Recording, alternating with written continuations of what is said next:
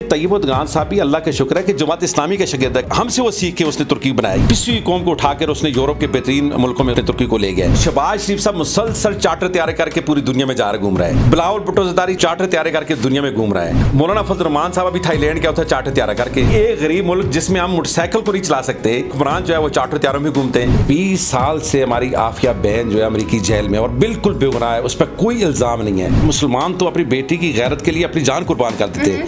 लेकिन हमारे इतने बेहस और बगैरत हुक्मरान, इनको कोई एहसास नहीं है। जरदारी साहब अमरीका जा चुका है, इमरान खान अमरीका जा चुका है, नवाज़ शरीफ जा चुका है, शबाज शरीफ जा चुका है। कभी भी इन्होंने अमेरिकन हुकूमत के साथ आफिया का नाम तक नहीं लिया, इनको शर्म आना चाहिए। बाजू के बजाय उन्होंने आँख का ऑपरेशन कर दिया। आए दिन ये वाकत होते हैं। कभी तोलिया अंदर रह जाता है, कभी जो ब्लेड अंदर रह जाता है, कभी बिल्कुल नबीना का दिया जाता है लोगों को। कई वाकत अपने बाद में हो चुके ना। मुकदस गाय बने हुए डॉक्टर सबका एक ही नज़रिया के इकतदार में आओ, पैसा कमाओ, मुल्क से बाहर भेजो याशें करो। अब वहाँ को सोचना चाहिए कि तब्दीली लानी चाहिए।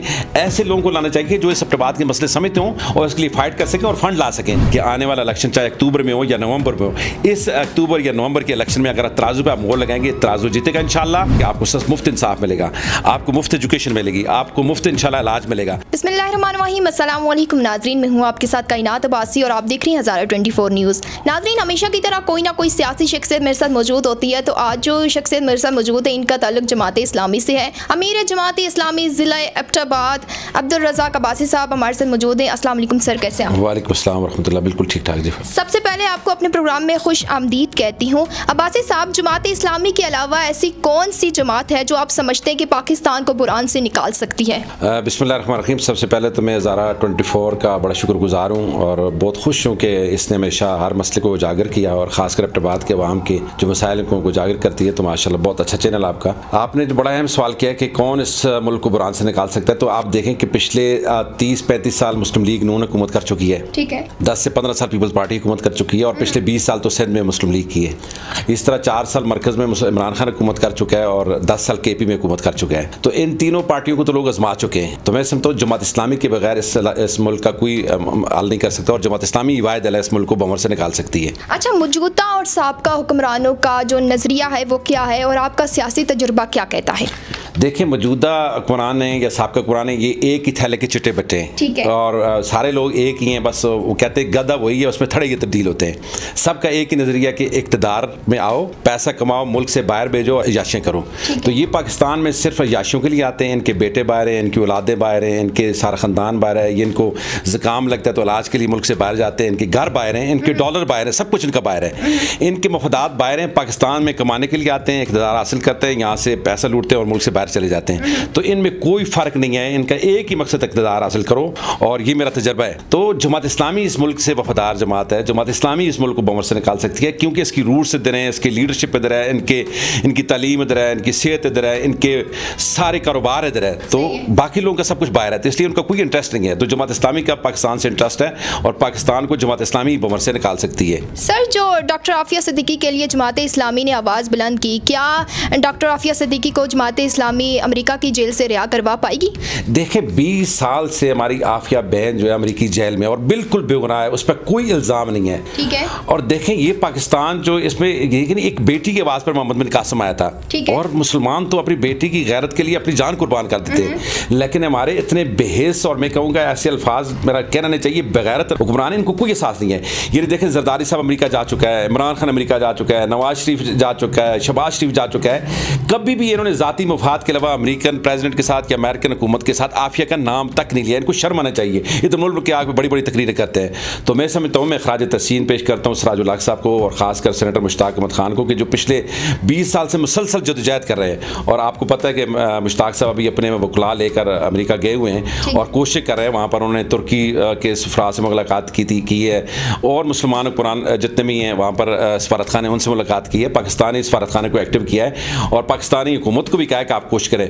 तो उन्होंने बड़े ज़बरदस्त अल्फाज कहे। उन्होंने कहा कि डॉक्टर आफिया की आज़ादी की चाबी वाशिंगटन में नहीं है, बल्कि इस्लामाबाद में है। अगर हमारी वजारत खारजा, हमारी हुकूमत चाहे तो मैं समझता हूँ हफ्तों में डॉक्टर आफिया आ सकती है। और पूरी कौम को अब इस हुकूमत पर प्रेशर डालना चाहिए कि हमारी बेगना बहन जो है वो अमरीकी जेल जन्नम के गड़े में पड़ी हुई है, जिस तरह उसने कहा है। और बीस साल बाद अपनी बहन से उसकी मुलाकात मुश्ताक साहब ने करवाई है। तो मैं समझता हूँ ये पाकिस्तानी हुक्मरान इसको रहा करा सकते हैं जमात इस्लामी तो अपनी स्ट्रगल करेगी इनशाला सर, जैसे उनकी सिस्टर ने मुलाकात की वहाँ पे, और उन्होंने बताया कि मोटा शीशा आगे लगा हुआ था, जब मैंने मुलाकात की और फिर उन्होंने बताया कि उनका आधा चेहरा वो झुलसा हुआ था और उनके दो दांत आगे से नहीं थे। तो इस हवाले से आप क्या कहेंगे? देखिए ये बहुत बड़ा जुल्म है। अमेरिका अपने आप को इंसानी हकूक का चैंपियन बोलता है, है। लेकिन एक नैतिक खातून पे बड़ा जुल्म है और ये जो उसके दांत तोड़े हैं ये कैदियों ने नहीं तोड़े बल्कि जेल की इंतजामिया ने तोड़े हैं। और इस तरह खुद उन्होंने हमला करके जेली केस पर बनाया इसको कोई उनके पास सबूत नहीं है। तो मैं समझता हूँ ये उनको पूरी दुनिया को अमेरिका ने अपना चेहरा दिखा दिया कि वो इंसानी हकूक के चैंपियन नहीं है बल्कि इंसानी हकूक पर इन्होंने डाका डाला हुआ है और फिर खासकर किस मुँह से वो खवतिन के हकूक की बात करते हैं पाकिस्तान के अंदर या एशिया के अंदर? अपने मुल्क में तो खवतिन को राइट्स नहीं देते। यानी एक जेल के अंदर भी एक मरीज़ मरीज़ा खतून जिसको जहनी बीमार कर दिया है उसको मिलने नहीं दिया दिया जा रहा अपने रिश्तेदारों के साथ। उसको इलाज मालजे की सहूलियात नहीं दी जा रही। उसको आज़ादी के साथ वो बाहर नहीं आ सकती। आज़ादी के साथ जेल के आते के अंदर घूम नहीं सकती। हथकड़ियों में उसको जकड़ा हुआ है। तो मैं समझता हूँ कि ये वो तो इंसानियत के नाम पर डाकू हैं जो अमेरिकन हैं और इनको मुसलमान हुक्मरानों को सोचना चाहिए अपनी बहन के लिए फाइट करनी चाहिए। अच्छा आइंदा माली साली नौ के बजट जो पेश किया जाएगा महँगाई से पिसी आवाम को हुकूमत क्या रिलीफ देगी? मैं तो समझता हूँ कि हमेशा ये लॉलीपॉप देते हैं और आवाम के लिए कोई रिलीफ नहीं है। ठीक है। रिलीफ तो ये होना चाहिए कि इनको आटा सस्ता करना चाहिए इनको ऑयल सस्ता करना चाहिए इनको पेट्रोलियम मसनूआत सस्ती करनी चाहिए इनको बिजली सस्ती करनी चाहिए इनको गैस सस्ती करनी चाहिए। तो मेरे ख्याल में ये तो ऐसा नहीं कर रहे। इनकी अपनी याशियाँ ये ज़्यादा होती हैं और आवाम पे ये सारे बोझ डालते हैं। तो मुझे कोई उम्मीद नहीं है कि इस हुकूमत जो है वो कोई रिलीफ आवाम को दे सके। लेकिन बहरहाल हमारा प्रेशर इन पर है कि ये जो किचन आइटम है इनको सस्ता करना चाहिए बिजली सस्ती करनी चाहिए गैस सस्ती करनी चाहिए और फ्यूल सस्ता करना चाहिए। सर मरियम कहती हैं कि पचहत्तर सालों में से नौ साल नवाज़ शरीफ के यानी आप उनके वालिद के निकाल दें तो पीछे पाकिस्तान का कुछ नहीं बचता यानी कुछ नहीं दिखाई देता उन्हें। तो इस हवाले से आप क्या कहेंगे? मैं तो यही कहूँगा कि वाकई बात नौ साल जो उन्होंने लगाया तो उन्होंने पाकिस्तान में कुछ नहीं छोड़ा सब कुछ लेके वो चले गए लंदन में तो ज़ाहिर उस कुछ भी इन्होंने नहीं किया। जो तरक्की की है वो कुछ अयूब खान के दौर में हुई है कुछ हम्म। जौलक के दौर में हुई है। ये जितने भी हुक्मरान हैं इन्होंने तो स्वाय मुल्क लूटने के लिए कुछ नहीं किया। अच्छा आपका नारा हल सिर्फ़ जमात इस्लामी आवाम जमात इस्लामी लेकिन जो है अलखदमत फाउंडेशन की जो काविशें उसको सब सराहते भी हैं और आपकी मुखालफी पार्टियाँ भी अलखदमत की तारीफ़ करती हैं लेकिन फिर भी आपको वोट नहीं मिलता इसकी क्या वजह है? देखिए मैं ये कहता हूँ पहली बात तो जैसे मैंने पहले बता दिया कि इन तीनों पार्टियों को ने देख लिया तो इनके पास तो हाल नहीं था। हाल होता तो ये पाकिस्तान आज तरक्की याफ्ता होता। हम्म। इन्होंने तो पाकिस्तान को लूटा ही है और अपने अपने ख़ानदान की बनानी चाहिए जमात इस्लामी बिल्कुल हाल है। देखें जमात इस्लामी के पास एक डेमोक्रेटिक जमात है और इसमें एल और माहिर लोग मौजूद है।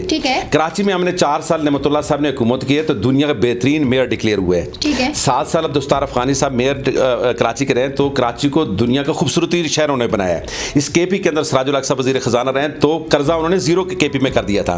हमारे नायतुल्ला खान जो वज़ीर बल्दियात रहे वज़ीर सेहत रहे तो पूरी दुनिया की एजेंसियों ने माना है कि वो सबसे बेहतरीन मिनिस्टर थे और उन्हें अल्लाह के शुक्र पर करप्शन का भी इल्ज़ाम नहीं है और उन्होंने अपने अपने शोबे को एक मॉडल शोबा बनाया तो मैं समझता हूँ कि जमात इस्लामी आएगी तो इन अपने अखराज जो है कम करेगी और अवाम की को रिलीफ ज़्यादा देगी। और सूद का हम खात्मा करेंगे। जब सूद का खात्मा हो जाएगा तो फिर ये सारी चीज़ें सस्ती हो जाएगी।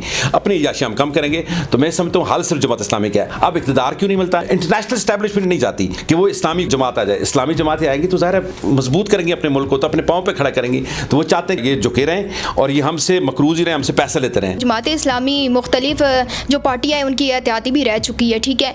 और उसके बाद जो है सराजुल हक साहब जिधर की हवा चलती है उधर ही चले जाते हैं। तो आप इस हवाले से क्या कहेंगे? ये तो सरासर गलत बात है। देखिए इस वक्त तो हवा या तो पीडीएम की या इखलास से पीटीआई की लोग कहते हैं। तो हम तो इन दोनों के खिलाफ हैं। हम समझते हैं कि ये दोनों गलत है। दोनों ने मुल्क को तबाह किया। दोनों मुल्क को ठीक नहीं कर सकते। जमात इस्लामी ठीक कर सकते पीटीआई की हुकूमत में सराजुल हक साहब उनके साथ थे? हुकूमत में मखसूस के पी के आतक के साथ थे। और उसमें भी अपने उसूलों के मुताबिक थे। हमने एक माहा किया था कि हम जो है करप्शन के खिलाफ इकट्ठे होंगे। हम बिलासूद बिनकारी जो कायम करेंगे हम निज़ाम तलीम को ठीक करेंगे और फ्री एजुकेशन देंगे फ्री हेल्थ देंगे तो ये हमारा माहा इस बुनियाद पर मिल के हमने हुकूमत बनानी थी। लेकिन आप देखें जब उन्होंने गलत काम शुरू किया तो जमात इस्लामी उनसे रद्द हो गई। तो असल अपोजिशन तो सिर्फ़ जमात इस्लामी है। देखें इस वक्त भी कश्मीर के अंदर सारी पार्टियों की हुकूमत है। सदर जो है पीटीआई का है। वजी अजम पीडीएम का है। गलगत में पीटीआई की हुकूमत है। सिंध में पीपल्स पार्टी की हुकूमत है। पंजाब में और केपी में पहले पीटीआई की हुकूमत थी। तो ये तो सारे मिल के हुकूमत चला रहे होते हैं। और इस वक्त भी कई जगहों पर इनका आपस में इताद हो रहा है। अपोजिशन में तो सिर्फ़ जमात इस्लामी होती है। सर हुकूमत ने एक साल में मजमू मुल्क की कर्जा जो है वो चौंतीस फ़ीसद कर्जे से भी ज़्यादा लिया है ठीक है? अप्रैल 2023 के महीने में अगर देखा जाए तो 1476 अरब रुपए का रिकॉर्ड कर्जा हासिल किया गया है। अप्रैल में बैरूनी कर्जा ना मिलने की वजह से 99 फ़ीसद कर्जे मकामी जराए से हासिल किए गए हैं। क्या कौम मजीद जो है कर्जों का बोझ बर्दाश्त कर सकेगी? बिल्कुल नहीं कर सकती। आप देखें ना ये देखिए गरीब कौम है। ऊपर से उन्होंने कशकोल उठाए हुए हैं। ठीक है। और शबाज शरीफ साहब मुसलसल चार्टर तैयार करके पूरी पूरी दुनिया में जा रहा घूम रहा है। बिलावल भुट्टो जरदारी चार्टर तैयार करके दुनिया में घूम रहा है। मौलाना फजल रहमान साहब अभी थाईलैंड क्या होता है चार्टर तैयार करके। छोटे छोटे वज़ीर उठते तो चार्टर तैयार करके चले जाते। यानी एक गरीब मुल्क जिसमें हम मोटरसाइकिल को नहीं चला सकते और हुक्मरान जो है वो चार्टर तैयारों में घूमते हैं। इस्लामाबाद के अंदर इनके खर्चे देखें, इनके फाइव स्टार और सेवन स्टार होटलों में इनकी रिहाइश देखें, इनका उठना बैठना देखें, इनका प्रोटोकॉल देखें। यानी एक एक वज़ीर है उसके पास दस दस गाड़ियाँ हैं। तो ये इनका तो यानी ये अपने याशें तो कम नहीं करते, अवाम को कहते हैं। तो मैं समझता हूँ कि इनके याशें जब तक कम नहीं करेंगे, उस वक्त तक कर्जे पाकिस्तान से नहीं उतर सकते। इसका वायदा लिया कि कर्जा खत्म करें हुक्मरान सादा ज़िंदगी गुजारें जिस तरह आवाम गुजारती है और फिर आवाम को रिलीफ दें ये मसले का है और ये जमात इस्लामी कर सकते हैं कोई और नहीं कर सकता। सर इसके बाद कुछ आपसे मासूमाना सवाल मैंने करने हैं कि सबक वजी अला पंजाब जो हैं उनका पार्टी छोड़ जाने से तरीके इंसाफ या कासिम के अब्बा या यूँ कह लें कि मेरे कप्तान को कितना तलाफी नुकसान होगा? मेरे ख्याल में बहुत बड़ा नुकसान है वो होगा। ऑलरेडी जो उन्होंने चार साल हुकूमत की है तो बहुत बड़ा नुकसान दिया उसको। चार साल तबाह नहीं कर दिया उस्मान बुजदार ने। देखा जाए तो उस्मान बुजदार ने तो उस तरह से हुकूमत में आने के बावजूद भी उस तरह से आवाम को रिलीफ नहीं दिया या पंजाब में उस तरह से काम नहीं किया। अगर वो चले गए तो मेरे ख्याल से इमरान खान साहब के लिए कोई इतनी मुश्किल बड़ी बात नहीं होगी। जवाब मैंने दिया ना इसलिए आप समझा करें ना।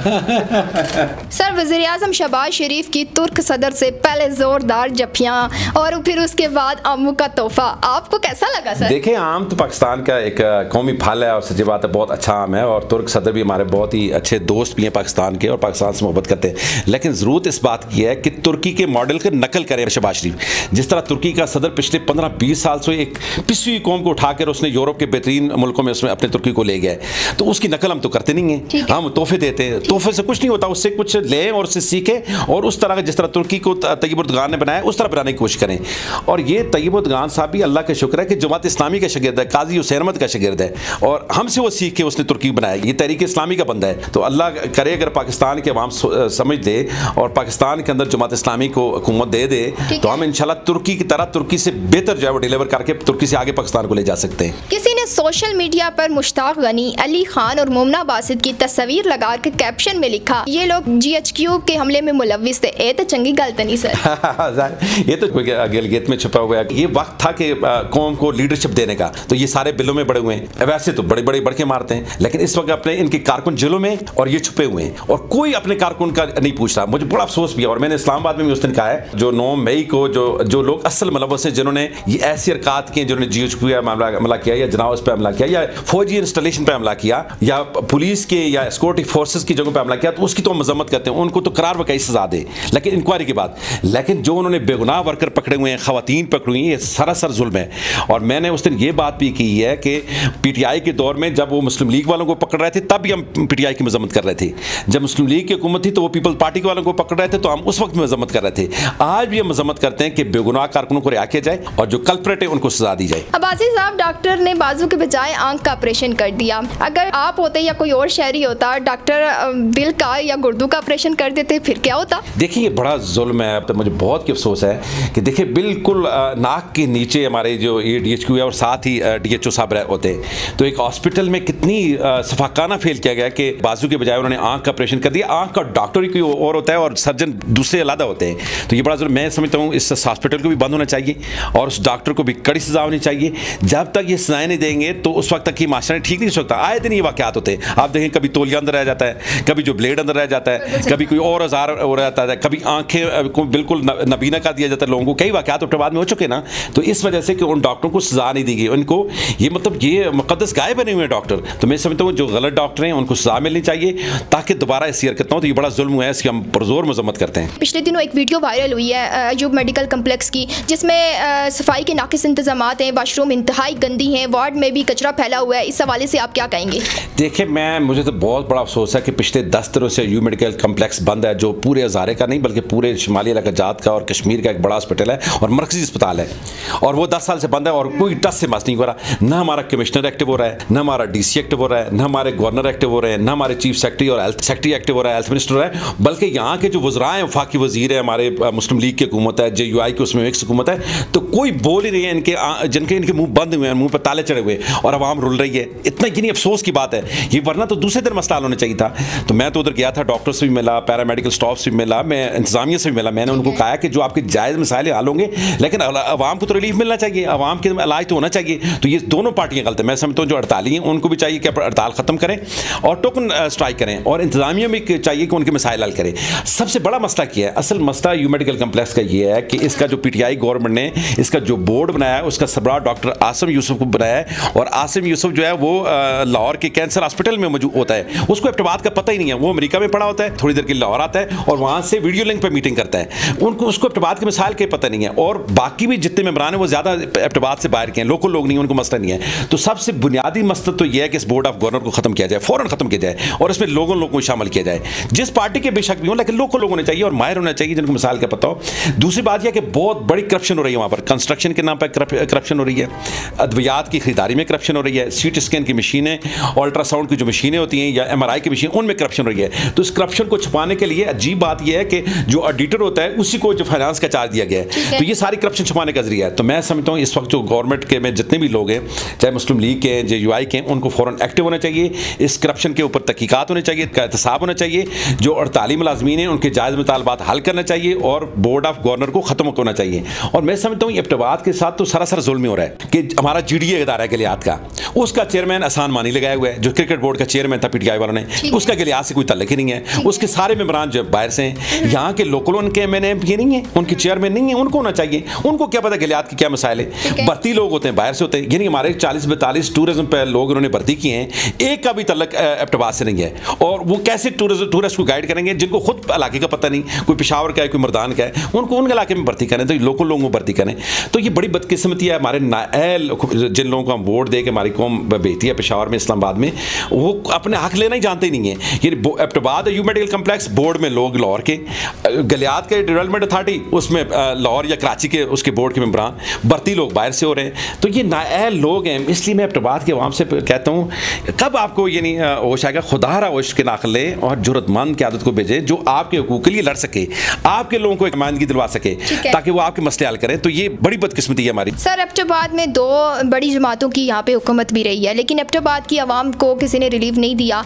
या यूँ कह लें कि यहाँ पे सड़कें नहीं हैं उस तरह से सफ़ाई के नाकिस इंतज़ाम आते हैं पब्लिक वाशरूम्स नहीं है हॉस्पिटल के निज़ाम उस तरह से अच्छे नहीं हैं। आप क्या समझते हैं कि अगली जो हुकूमत आएगी वो एबटाबाद की आवाम के लिए क्या खदमात सर अंजाम देगी? देखिए आवाम को खुद सोचना चाहिए ना जी कि आप पिछले दस साल पीटीआई को आजमा चुके हैं पंद्रह साल जो है मुस्लिम लीग को आजमा चुके हैं बाकी पार्टियों को आजमा चुके हैं। एक शारा रेशम की ये खुली नहीं कर सके एक शारा रेशम खुली नहीं कर सके। आप देखेंगे आप इस जनरल बस स्टैंड से कम्प्लेक्स का सफ़र करें जो आठ मिनट का सफ़र है वो कभी कभी दो दो ढाई ढाई घंटे लग सकते हैं और इस इब्तबाद शहर में कब्रिस्तान का बड़ा मसला है। ये मरने के बाद छः फुट कब्र की लोगों को जगह नहीं मिलती। आप मंगलपुरा में चले जाएँ आपके हाल में कोंज में चले जाएँ प्राइवेट लोगों ने जगह ले रखी है लेकिन गवर्नमेंट सतह पर कब्रिस्तान नहीं है। पीने का साफ़ पानी नहीं है। एजुकेशन के इदारे देखें कि लड़कों के लिए सिर्फ़ दो कॉलेज है और बड़ी पैमाने पर लड़के हमारे जो है वो इसलिए नहीं पढ़ सकते कि उनके पास कॉलेजेस नहीं है। खातन के लिए बहुत कम कॉलेजेस हैं स्कूल्स नहीं हैं। फिर जो है प्रेशर शहरों पर हो रहा है। देहातों को डेवलप नहीं करते। आप देखें, पूरा सर्कल बकोट है, उसमें कोई तहसील नहीं है, वहाँ पर लोगों के मसाइल नहीं होते, वहाँ पर कोई हॉस्पिटल नहीं है, वहाँ पर कोई अच्छा कॉलेज नहीं है, ताकि लोगों का फ्लो एप्टबाद पर कम हो। तो मैं समझता हूँ, इस एप्टबाद के साथ तो इन जिन पार्टियों ने हुकूमत में रहे, इन्होंने जुल्म किया, कुछ भी नहीं किया। अब वहाँ को सोचना चाहिए कि तब्दीली लानी चाहिए। ऐसे लोगों को लाना चाहिए जो इस एप्टबाद के मसले समझते हों और इसके लिए फाइट कर सकें और फंड ला सकें। मुझे उम्मीद है कि आने वाले दिनों में इस एप्टबाद के आवाम को सोचना होगा और इसकी आदत को चेंज करना होगा। इन दोनों पार्टियों को मुस्तरद करना होगा। सर आखिर में आवाम को क्या पैगाम देना चाहेंगे? मैं आवाम को यही कहना चाहता हूँ कि देखें मैंने पहले भी बार बार ये कहता हूँ कि इस मुल्क के अंदर अल्लाह ने बहुत वसायल दिए हैं। यानी मुल्क के अंदर पाँच दरियाएँ हैं इस मुल्क में जंगलात हैं इस मुल्क में अंदर के अंदर जो है ना वो ख़जाना है नीचे यानी सोना चांदी कोयला मादरियात दुनिया की सबसे ज़्यादा है। और इस मुल्क की इन्वायरमेंट बहुत अच्छा है मौसम बहुत अच्छा है। हर चीज़ जवान है सिक्सटी परसेंट जवान है। इस मुल्क के लोग यानी साइंस के मैदान में भी आगे, इंजीनियरिंग के मैदान में भी आगे, सोशल मामला में भी, अकाउंट्स में आगे, बैंकिंग में सबसे आगे। लेकिन बदकिस्मी की क्यादत अच्छी नहीं है।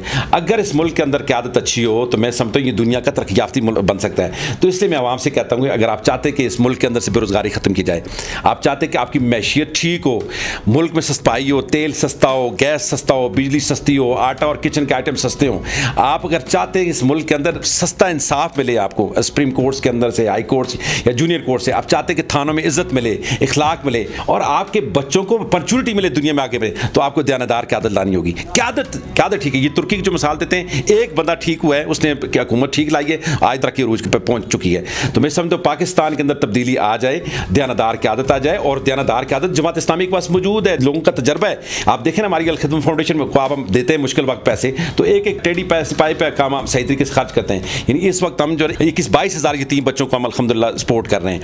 हमारे हेल्थ सेंटर्स हैं, हमारी एंबुलेंस सर्विसेज़ हैं, हमारे एजुकेशन सेंटर है, साफ़ पीने का पानी के प्रोजेक्ट है। अभी मैं अपने बाद में एक बड़ा फिल्ट्रेशन प्लांट लगा रहा हूँ। तो अगर आप सदका, ज़क़़त, जमात इस्लामी पर अतमाद करके आपको, आप दे सकते हैं तो आप वोट भी जमात इस्लामी को दें। तो जमात इस्लामी इस मुल्क को बमर से निकाल सकती है। तो मेरा पैगाम यही है पाकिस्तानी कौम से और ख़ासकर एबटाबाद के लोगों से कि आने वाला इलेक्शन चाहे अक्टूबर में हो या नवंबर में हो, इस अक्टूबर या नवंबर के इलेक्शन में अगर तराजू पर आप मोर लगाएँगे, तराजू जीतेगा इन तो जो मैंने आपसे बातें की हैं कि आपको मुफ़्त इंसाफ मिलेगा।